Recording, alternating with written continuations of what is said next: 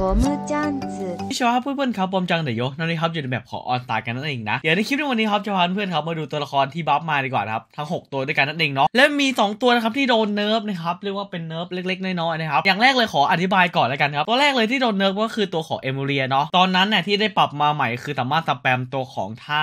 สกิลกดเบส อาบิสาได้นั่นเองนะ แต่ในแพทนี้นะครับเขาได้แก้ใหม่เรียบร้อยให้เป็นคูดาวแล้วนั่นเองนะครับ จะไม่สามารถสแปมได้แล้ว แล้วเป็น cooldown แบบ global ด้วยนั่นเองครับ ก็คือ cooldown แบบทุกคนเลยใช้ได้แค่ตัวเดียวนะครับ ไม่ไม่ว่าใครเราต้องเลือกกันใช้ด้วยเนาะ แล้วก็ตัวที่สองครับ ตัวของดาวไซแค่แบบโดน nerf การวางจาก 8 ตัวให้เหลือ 1 ตัวแค่นั้นเองครับผมประมาณนี้นะ ที่โดน nerf สองตัวหลักๆ เลยนะครับผมไม่ได้อะไรมาก เดี๋ยวคลิปในวันนี้นะครับก็ได้เป็นตัวละครของยูโน่เป็นตัวแรกแล้วกันเนาะ Lucky Green Knight นะครับผมที่แบบว่าไม่รู้ว่าจะปรับอะไรมันบ้างครับ แต่ตัวที่แน่ๆครับมี blessing นะครับมี skill กดแล้วก็มีเรกกิ้งเนาะที่เพิ่ม damage ตัวเองเนาะต่อ wave นะครับเดี๋ยวผมจะโชว์ให้ตอนท้ายด้วยนั่นเองเนาะเหมือนเดิมเลยรีวิวให้แบบละเอียดแน่นอนนะครับถึงจะลงช้าหน่อยจริงๆนะ แต่ผมรีวิวให้แบบละเอียดดีจริงๆนะครับผมจะพยายามค่อยๆพูดด้วยเนาะแล้วก็ตัวของ gale slow เดนเองนะครับ เดี๋ยวไปดูกันนะครับว่าตัวของยูโน่นะครับปรับอะไรกันมาบ้างนะครับผมแล้วมีอะไรเพิ่มเติมหรือเปล่า อันนี้ผมต้องบอกไว้ก่อนว่าอันนี้จำไม่ได้นะครับว่าปรับอะไรมาบ้างนะ เพราะว่าตัวเก่าก็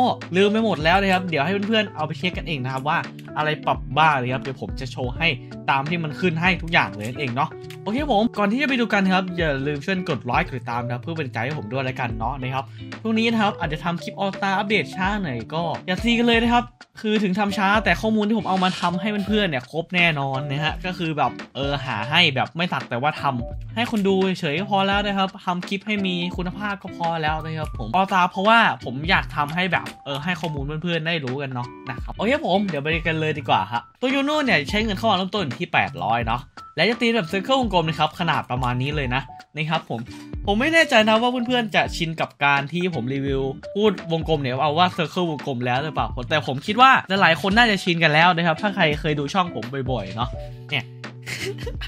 โอเค เปิดมานะครับรีวิว175นะครับ damage base damage ก็อยู่ที่ประมาณ6,850ครับ ตี1วิระยะ45นะครับ ตีกาวด้วยนั่นเองนะ เดี๋ยวมาดูแอนิเมชันก่อนดีกว่านะครับเหมือนเดิมเลยผมจะรีวิวให้ครบทุกอย่างเลยเนาะเผื่อใครที่แบบไม่เคยเห็นตัวนี้หรือว่าไม่เคยดูคลิปรีวิวตัวนี้เนาะนะครับ ผมจะได้ดูกันเนาะนี่ครับโอเคครับอ่าจะเป็นประมาณนี้นะครับนี่ประมาณนี้ไม่มีอะไรนะครับ อัปเกรดขั้นแรกครับใช้อยู่ที่ 1,600 ครับ อัปเกรดขั้นที่2ครับ8,000ครับ อัปเกรดขั้นที่3ครับ จะเปลี่ยนแอนิเมชันใหม่นะครับ แล้วก็จะบวก gale slow ด้วยนั่นเองนะครับ เพิ่มมาแล้วครับ แล้วก็ตีเพิ่มเป็น 5วิน้อยจาก 1วิครับ32,000ครับผม แล้วก็จะตีแบบกรวยด้วยนั่นเองครับ แล้วก็จะมีท่า gale slow ขึ้นมาด้วยนั่นเองครับ ก็คือเป็นท่า slow เนาะ ที่เอาไว้ใช้ support กับพวก slow นะครับผมประมาณนั้นเลยนะฮะ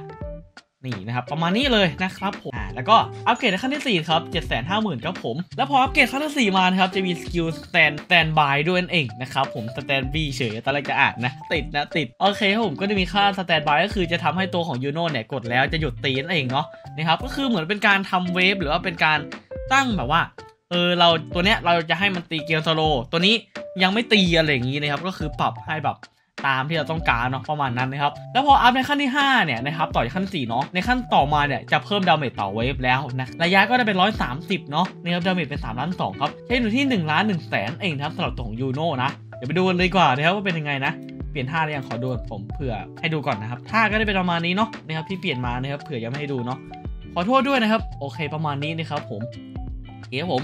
หนึ่งล้านหนึ่งแสนครับแล้วตัวยูโน่นะครับก็จะเป็นการอัพขั้นสุดท้ายนะครับผมของตัวมันเองเนาะลืมบอกเลยว่ายูโน่สามารถวางได้ทั้งหมด 8 ตัวนะครับแล้วก็ขายได้เนาะนะครับเพื่อนๆโอเคนะครับผมว่าบอกทีหลังบอกก่อนก็ไม่ก็ไม่ต่างกันแหละนะครับเพราะให้ว่าเพื่อนๆดูรีวิวจนจบเนาะนะครับอ่าก็ได้เป็นวันนี้เลยนะครับยังมี skill กดนะครับมีเล็กวิ่งแล้วก็มี gale slow นะครับผมรวมทุกอย่างอยู่ในขั้น อัพในขั้นนี้นะครับไอสปิริตบีมเนี่ยก็จะเพิ่มตัวของ l ล c กิ้งมาเองเนาะก็จะเป็นประมาณนี้เลยครับผมไม่มีอะไรมากนะครับ เดี๋ยวเรามาสรุปกันเลยดีกว่าเนาะแบบที่ยังไม่ทำเวฟทุกอย่างนะครับดาเมจต่อเลขห้าครับอยู่ที่ประมาณ3ล้าน2แสน2หมื่นนะครับ เพิ่มดาเมจต่อเวฟอยู่ที่ 3 3แสนเป็นหมื่นเก้าพันนะครับผมแล้วก็ตี5วีเนาะ เหมือนระยะจะจำไม่ผิด 130ด้วยนั่นเองนะครับผมก็ระยะประมาณเนี้ยนะครับกลมๆ ก็เอาไปเล่นเลด เอาไปเล่น Infinity เนี่ยก็เอาไว้ตรงกลางก็ครึ่งวงกลมแล้วครับ แต่ส่วนมากจะเอาไว้ทำทำ wave ทำ gale slow ซะมากกว่าเนาะตัวของยูโน่แทบจะไม่ค่อยได้ได้ใช้ทำ damage หรือทำอะไรเลยเนาะนะครับประมาณนี้มีประโยชน์ของเขาเนาะนะครับ เดี๋ยวเรามาไอจังกันดีกว่านะฮะ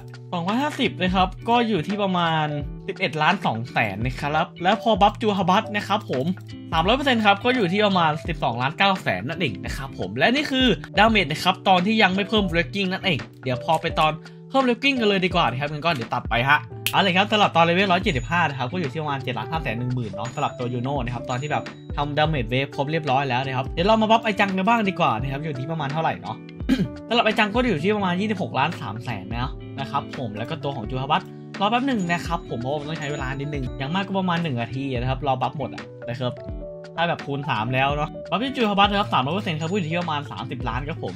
ก็สำหรับตัวละครของยูโน่นะครับก็จะเป็นประมาณนี้ครับเพื่อนๆคิดเห็นกันไงกันบ้างนะครับคอมเมนต์แน่นอนแล้วกันนะครับผมเดี๋ยวผมจะไปอ่านให้กันนะฮะสุดท้ายนี้ผมถ้าเกิดว่าคลิปนี้มีประโยชน์นะครับใครที่เล่นเกี่ยวออตาเนี่ยอย่าลืมเช่นกดไลค์กดตามนะครับเพื่อจะไม่พลาดข้อมูลใหม่ๆนะครับหรือข้อมูลต่างนะครับของออตาให้นั่นเองนะครับมีทั้ง short มีทั้งคลิปนะครับให้ลงแน่นอนนะครับละเอียดกันอย่างแน่นอนนะครับผมไม่ทำให้ผิดหวังแน่นอนเนาะอย่าลืมช่วยกดไลค์กดตามมาเพื่อเป็นใจให้ผมด้วยละกันครับผมแล้วก็เจอใหม่คลิปหน้าตอนที่ผมตายยนละครับผม